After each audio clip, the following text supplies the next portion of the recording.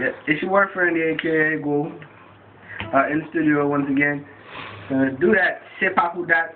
Simple, short, easy. I just have an urge to put up videos, so enjoy.